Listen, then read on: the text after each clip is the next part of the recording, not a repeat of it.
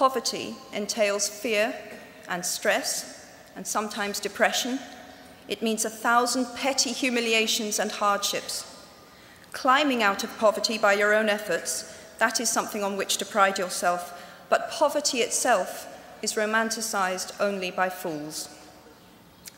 What I feared most for myself at your age was not poverty, but failure. I was set free because my greatest fear had been realized, and I was still alive, and I still had a daughter whom I adored, and I had an old typewriter and a big idea. You might never fail on the scale I did, but some failure in life is inevitable. It is impossible to live without failing at something unless you live so cautiously that you might as well not have lived at all, in which case you fail by default. Failure gave me an inner security that I had never attained by passing examinations. Failure taught me things about myself that I could have learned no other way. I discovered that I had a strong will and more discipline than I had suspected.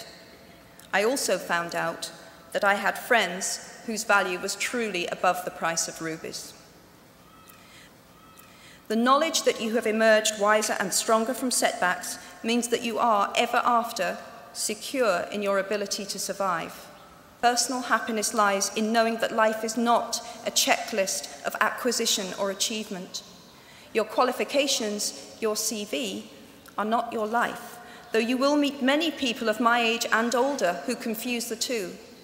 Life is difficult and complicated and beyond anyone's total control, and the humility to know that will enable you to survive its vicissitudes. I have learnt to value imagination in a much broader sense. Imagination is not only the uniquely human capacity to envision that which is not, and therefore the fount of all invention and innovation. In its arguably most transformative and revelatory capacity, it is the power that enables us to empathize with humans whose experiences we have never shared.